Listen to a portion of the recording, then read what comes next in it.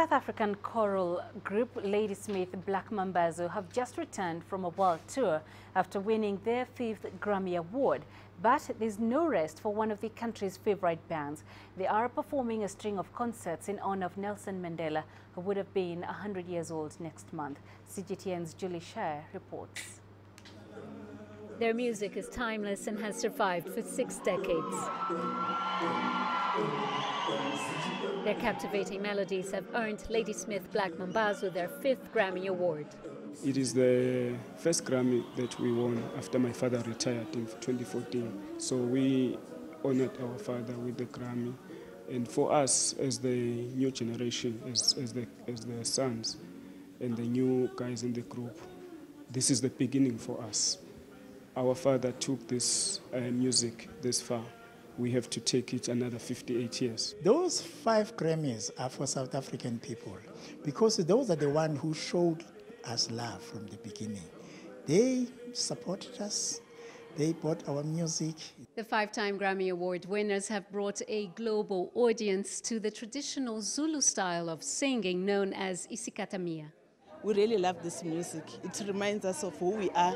It gives us uh, the pride of being South Africans. To know the history of these guys, that they started in Ladysmith and that they started as an a cappella group just very informally, uh, knowing what they must have gone through is, is really incredible. Knowing that they're world famous. I'm very happy to be here, especially their music does not go out of fashion. It's the music that you can still play in 60 years' time and it will touch your heart. The group has just returned home from a world tour. When we perform uh, in other countries like in America, the audience is different because you know you find people who are very observant. They'll just sit down and look at you and clap at the end of the song. But here in South Africa, they just kick in and sing with you throughout the whole show. So it's such an, an, amazing experience being back home. Now they're performing a string of concerts in honor of late statesman Nelson Mandela ahead of his centenary birthday commemorations in July. Honoring Madiba is very important for us as the group because Madiba has been a, a very good friend of, of the group. Uh, from the first day we met him when we went to perform at his birthday, he told us, the group, that the music that we sing has been his, the great inspiration for him while he was in jail and encouraged us to keep up the good work that we were doing.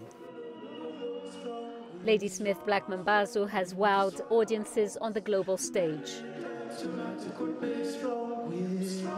Their next goal is to start an academy in South Africa to teach indigenous music. Julie Scheier, CGTN, Pretoria, South Africa.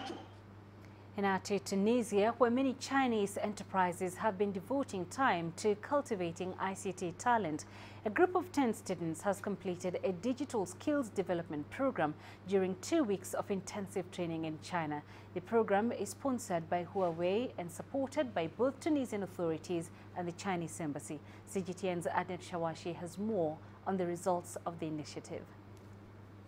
The Tunisian Ministry of Communications, Technologies and Digital Economy and the Chinese electronics giant company Huawei signed the 2018 cooperation agreement Seeds for the Future, which aims to cultivate ICT talents in Tunisia. The Seed for the Future program is one of the programs we are pro promoting Tunisia talent and also Tunisia uh, uh, uh, students. Uh, this is uh, uh, the fourth year now. Past three years, we already fulfilled the three sessions. And we can see the feedback from the students was very good. 10 engineering students and engineers who received a two-week ICT intensive training in July in China shed light on their experience. The study trip to China was an extraordinary experience. We visited the Huawei Research Center and learned about the latest technological advances. Now in Tunisia, I'm putting into practice what I learned in China. The Chinese ambassador to Tunisia has welcomed the cooperation project. Wang Guanbing said that Beijing will